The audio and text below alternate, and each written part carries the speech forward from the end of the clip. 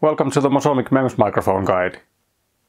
In this episode and the next one, we'll talk about sound and acoustics.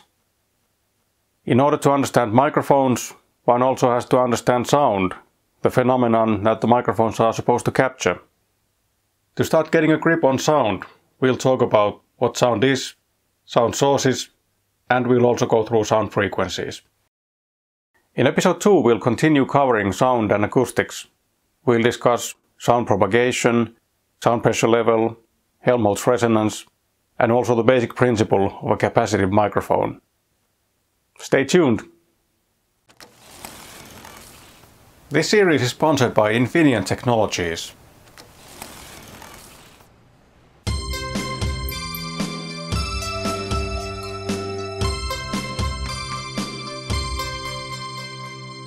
Hi, I'm Mikko Suvanto from Mosomic.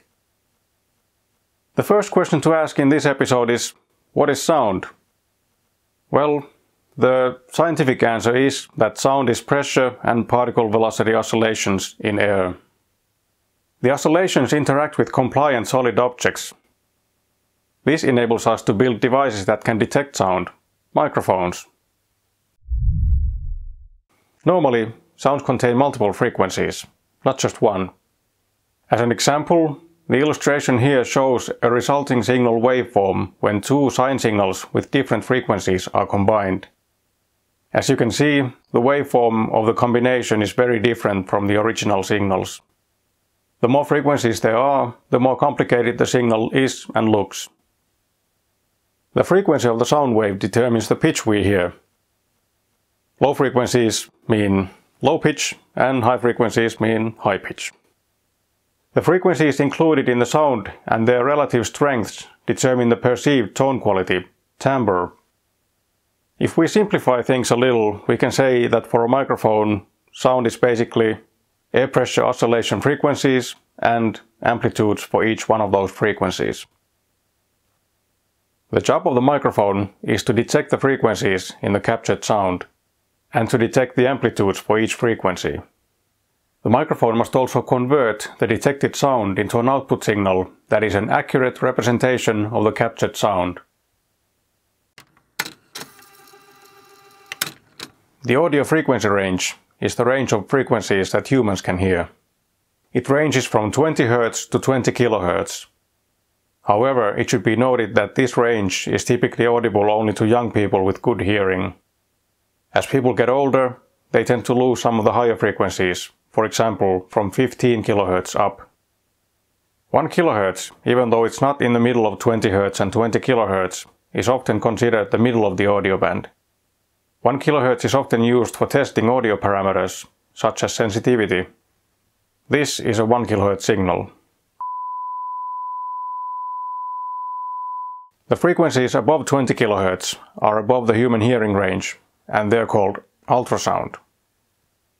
Sound up to tens of kilohertz can be received by microphones and used for certain applications, such as echolocation, like bats do, and transmitting inaudible messages. The frequencies below 20 Hz are below the human hearing range and they're called infrasound. Infrasound is typically not used in consumer electronics applications. Some key factors that determine the importances of different frequencies are, for example, the source, the recipient and what the sound is used for, and sound reproduction equipment. First of all, the nature and characteristics of sound depend on the source.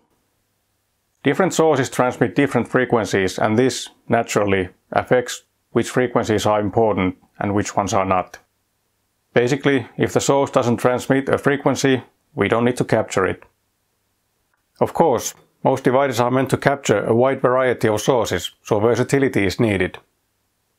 A sound source can be, for example, the vocal cords of a person, a speaker in a home media system or in a digital assistant, the engine, exhaust and wheels of a vehicle, air flowing in HVAC ducts. HVAC, of course, stands for heating, ventilation and air conditioning, wind, or a musical instrument, We'll go into a lot more detail about sound sources and frequencies in a minute. The importance of different frequencies depend also on the application and what the sound will be used for. Different intended recipients may prefer different sound characteristics. The requirements for voice communication between people are different from the requirements for recording music, which again are different from the requirements for speech recognition. For example, people like natural sounding speech, whereas speech recognition algorithms only look for the key phonetic pieces of information that determine which letter or word was spoken, and would prefer to discard any other information. Also, the capabilities of the playback equipment play a role. Sometimes a too high sound quality can even be a problem if, for example, the sound signal contains something the signal chain or reproduction equipment can't handle. I'll talk more about this in a minute. The audio band can be divided into regions, as you can see in this illustration.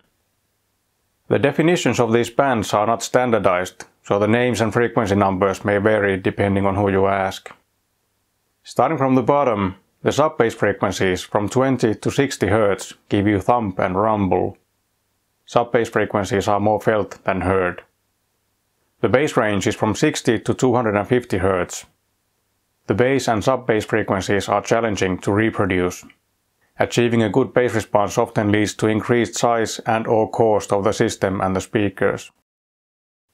The smaller the devices, the more difficult it is to make the bass frequencies sound good.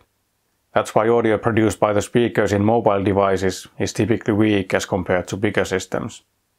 However, the reproduction of low frequencies is easier in a small confined space, such as the ear canal. Therefore, headphones can achieve a good bass response also without making the system big. Capturing low frequencies is a lot easier than reproducing them.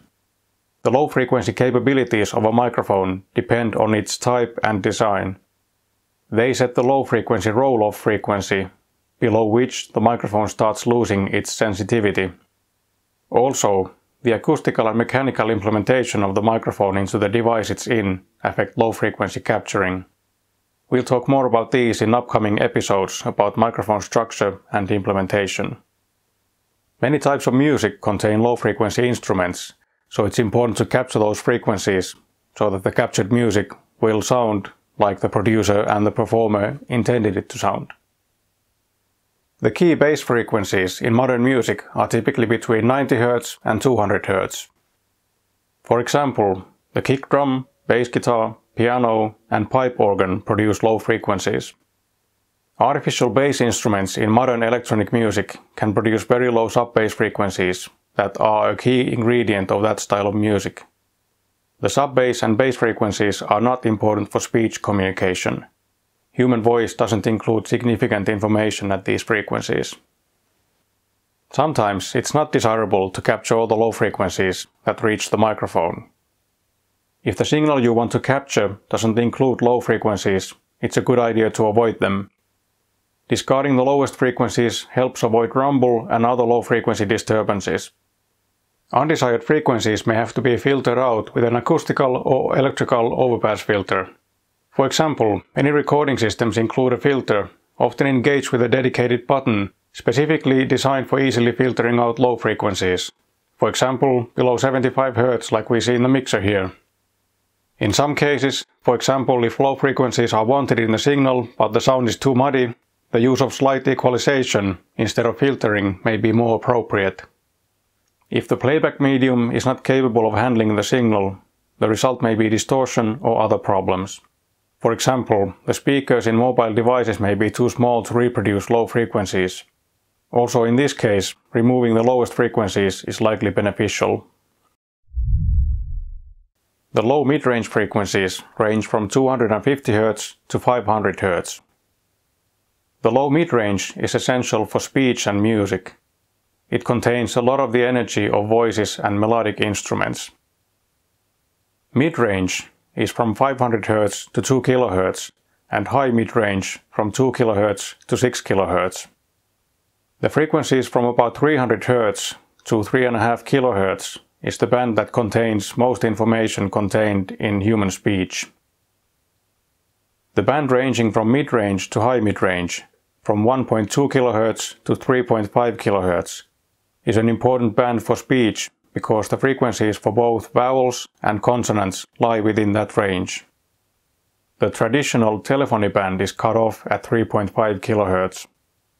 It's still enough for voice identification so people can distinguish who's talking. Human hearing is very sensitive at the mid-range and high mid-range frequencies. Any problems with frequency balance can significantly change the way voices and instruments sound. If this range is, or parts of this range are, emphasized too much, the result may be horn-like or teeny sound quality. The band from 4 kHz to 6 kHz is often called the presence range. These frequencies give presence for both speech and music. For music, boosting this range too much can make the sound irritating and harsh. The high frequencies, from 6 kHz to 20 kHz, contain mostly harmonic frequencies of other, lower frequencies. This range adds brilliance, sparkle and air into sound.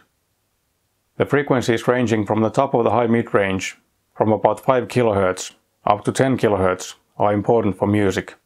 They add life and brightness to the sound. These frequencies contain fairly little speech information, only sibilance, for example, the beginnings of words like ship, chip and zip.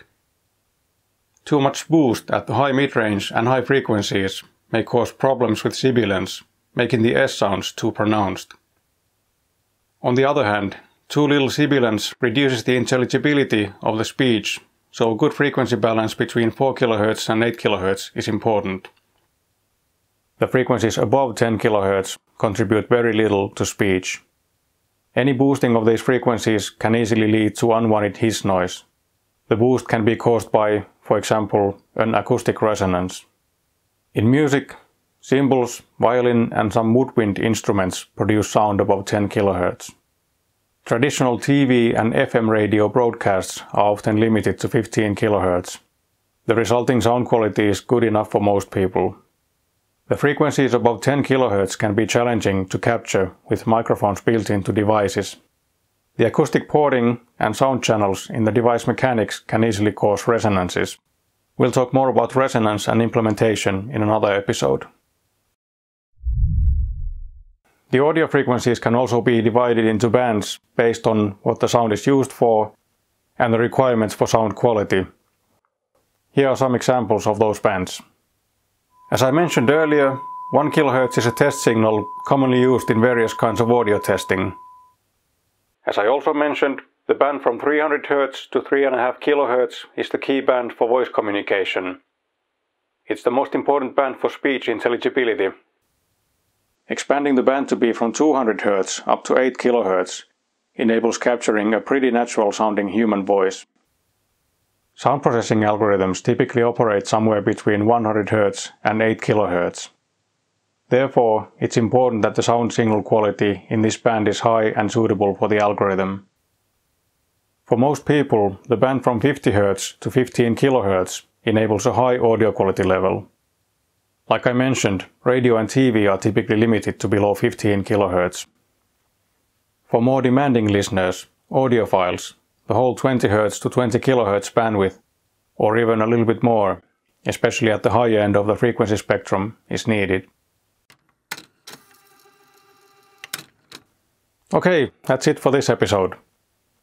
In this one we talked about what sound is, sound sources and sound frequencies. If you'd like to learn more about sound and acoustics re related to MEMS microphones, check out episode 2 where we'll continue on this subject. I hope I'll see you around. Cheers! If you have any questions or comments, write them down in the comments below and I'll do my best to answer them. You can also contact me online or on social media. If you like what you saw here, give a like for the video and subscribe to the Mosomic channel.